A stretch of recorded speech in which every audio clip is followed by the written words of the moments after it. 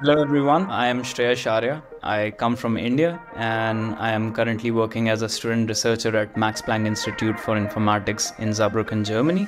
We challenged researchers to explain their work across three levels of difficulty. First, they'll simplify their research for a young learner. Then, they'll level up to explain it for a student. Finally, they'll dive deep for a fellow researcher. Imagine that you have a friend and let's call her Becca.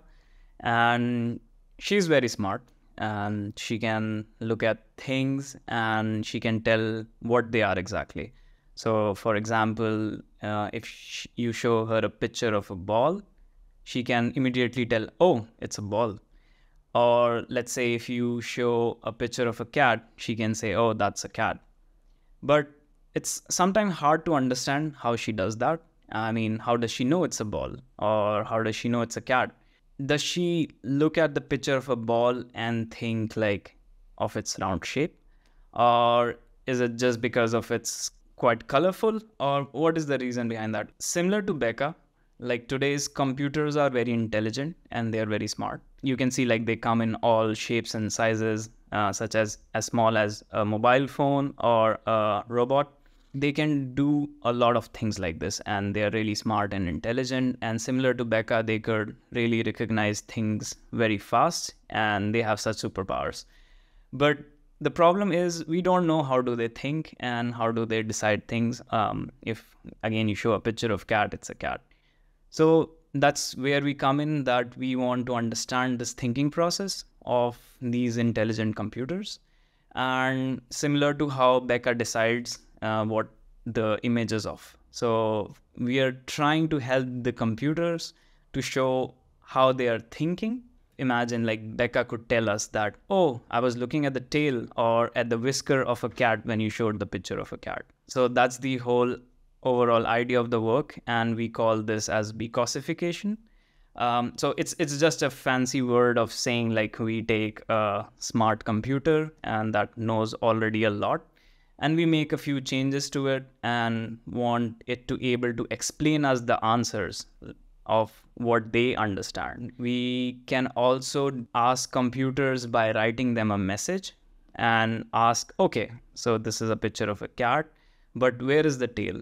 So even that the computer can tell you, here is the tail, which I look at. Next time, if you see a smart computer, just think of Becca and know that we are trying to help it explain itself.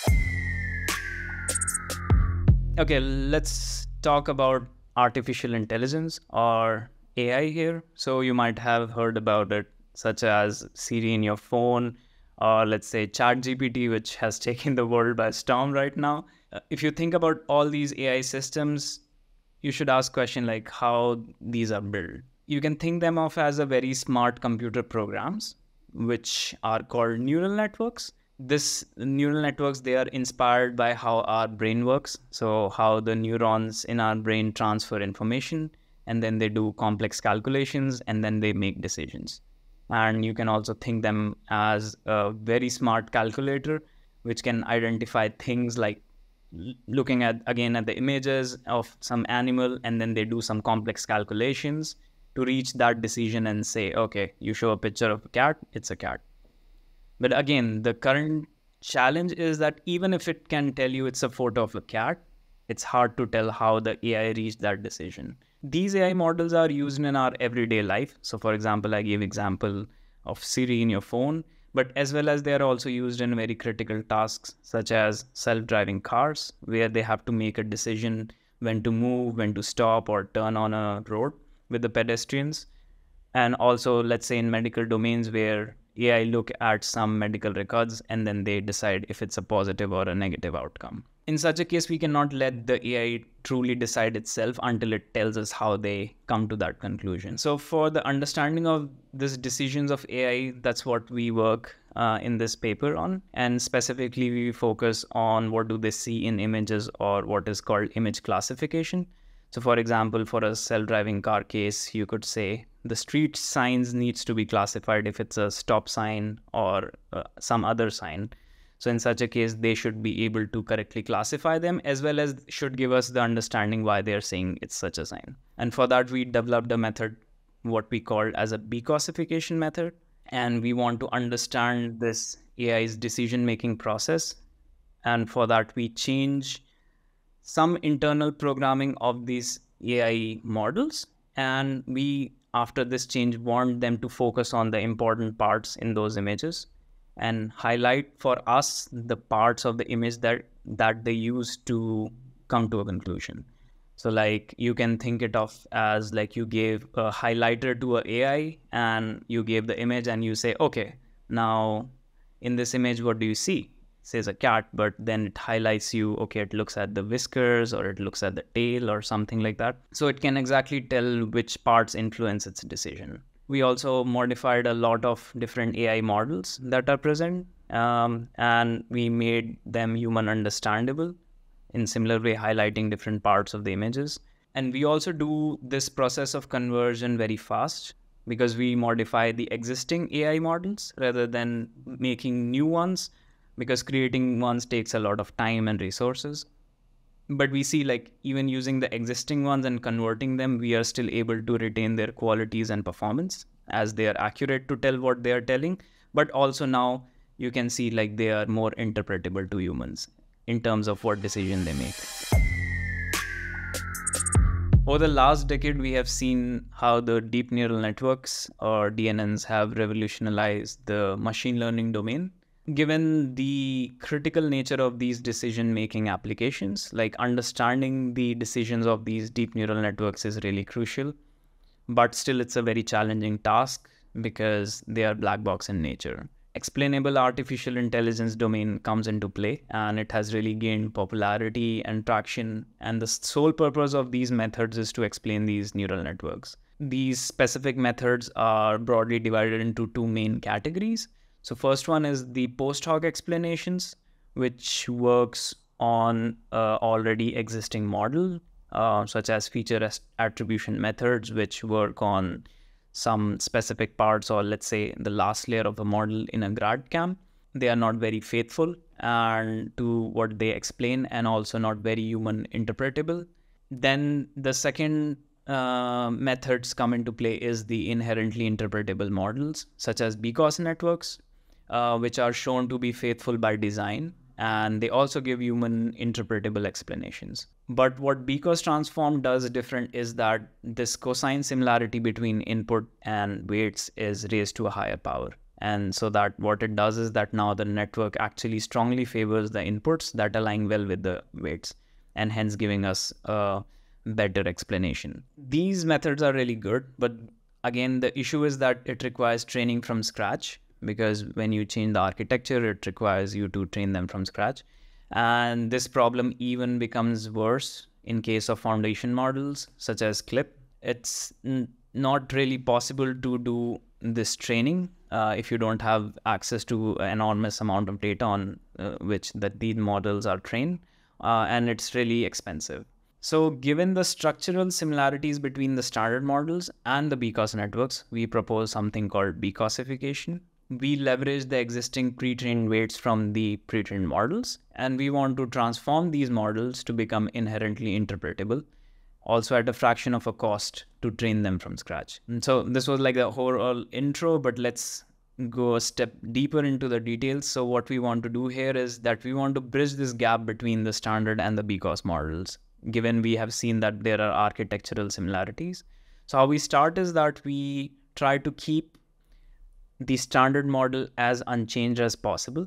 So we start from a standard architecture and then we slowly want to incorporate the BCOS properties into it so that it becomes more interpretable. When I say BCOS properties, mainly it's about the weight input alignment so that it focuses on correct features uh, in the input to which the output it contributes.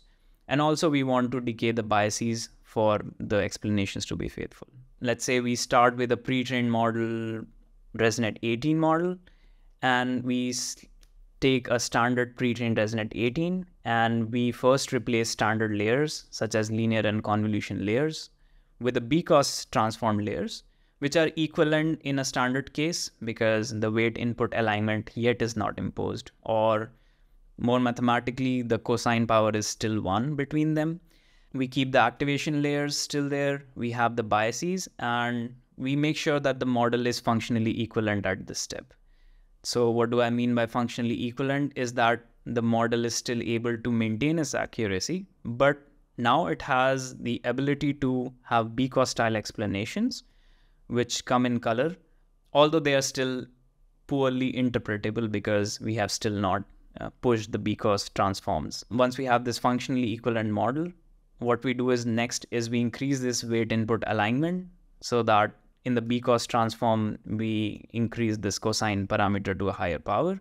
And we also want to decay the biases for the faithfulness. And once we have done these, once we do these two things, now the model is actually a bit architecturally different. So you have to still fine tune it so that the pre-trained weights adapt to the architectural changes. For all this uh, change that we do, we perform a thorough study of the design choices to perform this conversion, and we then choose an optimal setup for it. In a single epoch of fine tuning, we are able to achieve the interpretable explanations from these pre trained models, which are on par with the original BCOS models that are trained from scratch. And also, we outperform these BCOS models in terms of classification performance with up to nine times faster uh, in some of the models if we compare the BCOS model trained from scratch. Further, with this idea of BCOSification, we tested multiple uh, neural networks, such as different convolution models and state of the art vision transformers with different sizes. And we see that the similar results translate to these different models. We also tested different weight initializations from different pre trained weights uh, so for example, we take ResNet 50 model, we BCOSify it, and then we initialize it with different weights such as self-supervised DINO models. And we saw that with a stronger pre-trained weight initialization, we can have better performance. We also extend this idea to foundation models. So we take pre-trained vision language foundation clip model and we BCOSify it.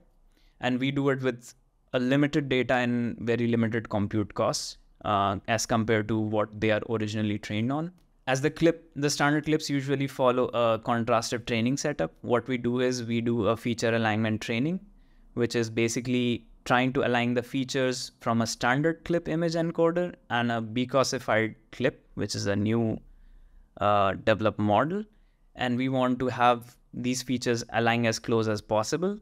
And we do it only using the images. We don't use the text part here as it's done in the standard uh, clip models. Then once it's fine-tuned and trained, we evaluate this new BCOSified clip image encoder on its zero shot and linear probe capabilities across a variety of datasets. And we see that it still performs similar to what standard clip performs. And note here that during evaluation, we don't use any trained text encoder, but the standard clip encoder, which was there. Additionally, BCOS now the whole thing was to bring the interpretability to these models, we see that now the it brings inherent interpretability to these models. So for the first time, what you can do is you can have a free vocabulary text localization of concepts, which are the because explanations in the image. So for example, again, you can take a photo of a cat and a dog, and you can, with the text, say, where is the cat? And it would highlight the cat for you. And it, if you can go more specific about eyes, ears, nose, you can go crazy how you like. So this gives us an idea of how these foundation models interpret different textual concepts in the images. And it gives us the understanding how the model decision uh, of an object means in terms of the embedding space of text and image for a clip model, which can be also very helpful tool to understand the decision of these very large foundation models for the sensitive downstream tasks such as medical scenarios.